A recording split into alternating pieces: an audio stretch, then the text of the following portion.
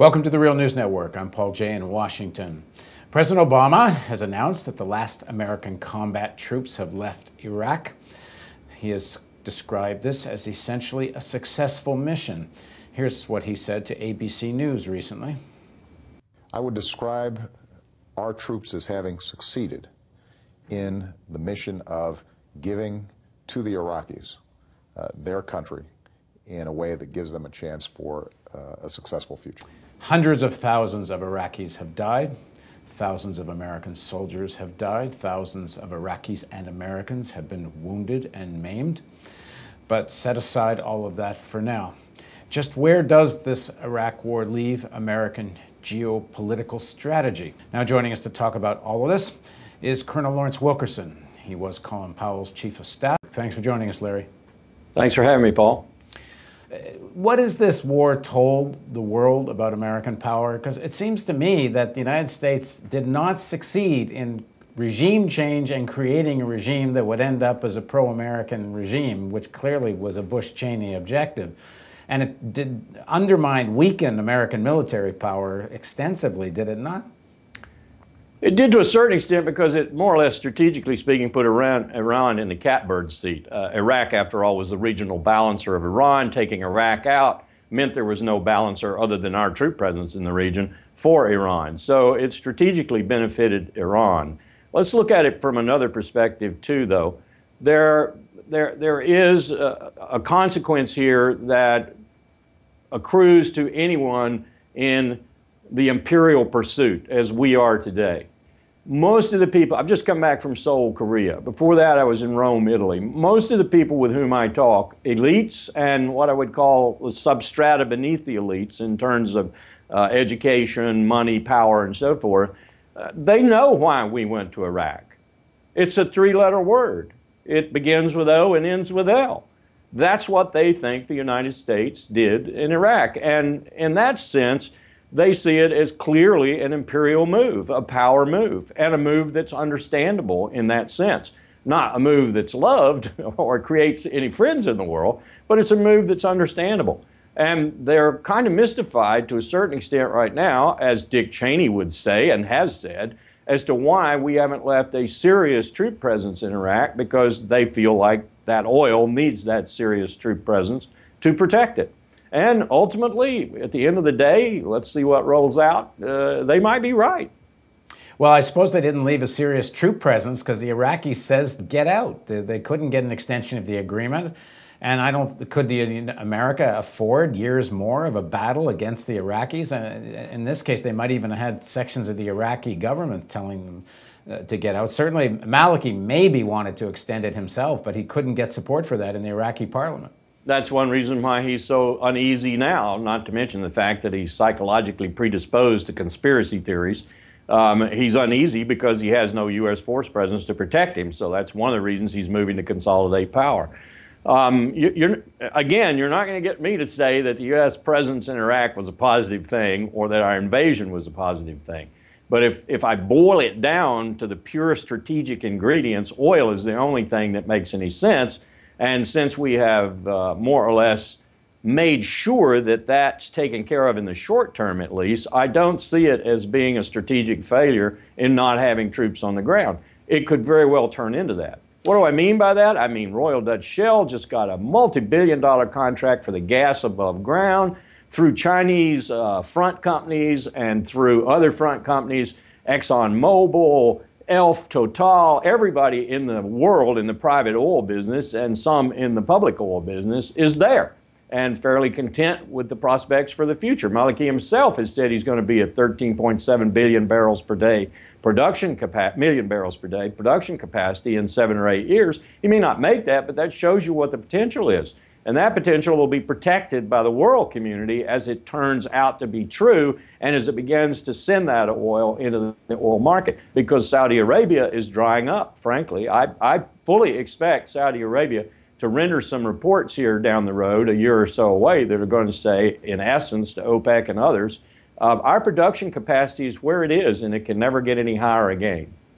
So, in terms of the empire project, the, the sort of vision of the United States as the dominant power, uh, I, I, take what you're saying about the uh, oil companies having succeeded in terms of the contracts, uh, although they haven't been able to monopolize the market as perhaps they might have. China and, and, and some of the other countries that were not part of the invasion are doing pretty well there. China's but, been doing well since we started occupying ourselves in these seemingly endless wars. The Chinese love it. They love it that we're doing what we're doing, frittering away our power while they build their own power. Right. And, and, and, is there also not a message here that, that, in spite of this enormous power, the United States just can't go in and shape countries as it pleases? Uh, one, country, one country tied down almost the entire military, American military. I hope that's the lesson we learned. Uh, we didn't learn it in Vietnam. We didn't learn it in Afghanistan. We're still trying to build state build in Afghanistan. We didn't learn it in Somalia. We don't learn it anywhere we go. We are not good state builders. In fact, if you look at the history of state building, the British perhaps could be hauled out as a, an exemplar of it. They succeeded only about 20 or 30 percent of the time. They failed the rest of the time, miserably in some cases.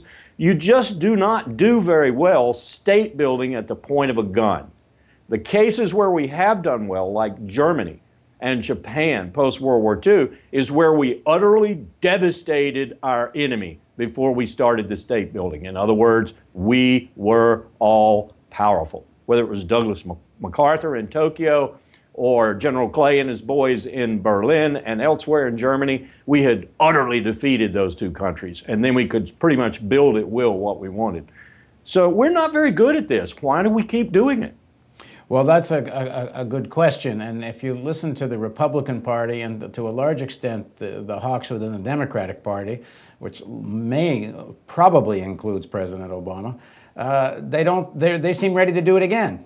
I mean, the, the, the, the their they attention seem to is be focused ready, on Iran. Yeah, they seem to be ready to do it in Iran and Syria even. Uh, this is this is preposterous. I mean, if you think Iraq was a problem, United States, wait until you see Iran. 70 plus million, of whom about 55% are Persian. The rest are probably ready to adhere to that national aspect that is Iran. Uh, till you see that one if you think Iraq was tough. Talk about uh, 100,000, 160,000, 200,000 troops, forget it.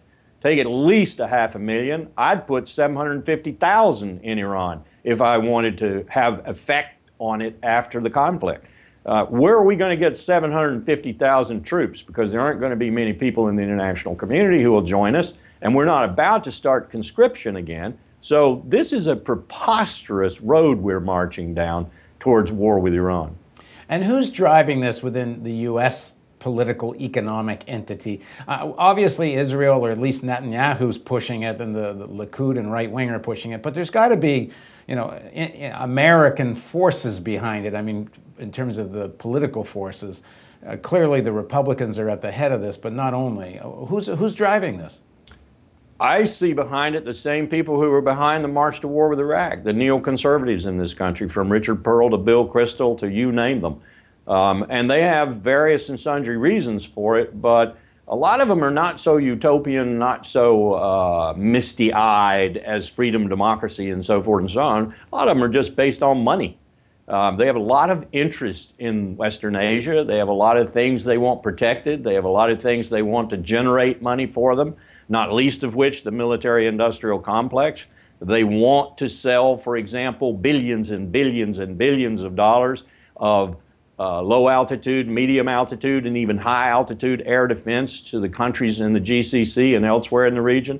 That's where they see their, their, their profits coming from in the future. You've got to protect that. You've got to have the U.S. forces around to help you protect that. Um, it's, a, it's a whole lot of reasons, but if you boil it down to the ultimate fundamental reason, it's money. And, and do they want war or they want perpetual instability and almost war?